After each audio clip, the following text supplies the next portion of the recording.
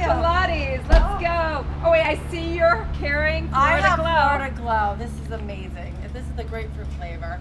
I spray it on.